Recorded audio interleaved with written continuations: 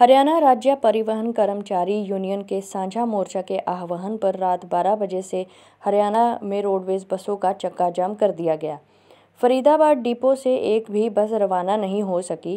Roadways कर्मचारी नेता वरिंदर ने बताया है कि दिवाली की रात हरियाणा के अंबाला छावनी बस अड्डे पर ड्यूटी के दौरान रोडवेज़ कर्मचारी की चार बदमाशों ने मारपीट करके हत्या कर दी है। अभी तक बदमाशों की गिरफ्तारी नहीं हो सकी है। डीसी रोडवेज़ महाप्रबंधक और एसडीएम की अंबाला डिपो व सांझा मोर्चा के राज्य कमेटी के नेताओं से तीन चार दौर की वार्ता हो चुकी है, लेकिन कोई हल नहीं निकल सका है प्रशासन सुनने के लिए तैयार नहीं है बदमाशों की गिरफ्तारी न होने से रोडवेज़ कर्मचारियों में भारी नाराज़गी दिखाई दे रही है इस घटना के बाद बीते दिन मृतक कर्मचारी के परिजन व अंबाला छावनी बस अड्डे पर कर्मचारियों ने यातायात ठप कर धरने पर बैठ गए हैं उन्होंने पुलिस से मांग की है कि अपराधियों को जल्द से जल्द गिरफ़्तार किया इसके साथ ही सरकार से एक सरकारी नौकरी की मांग भी की है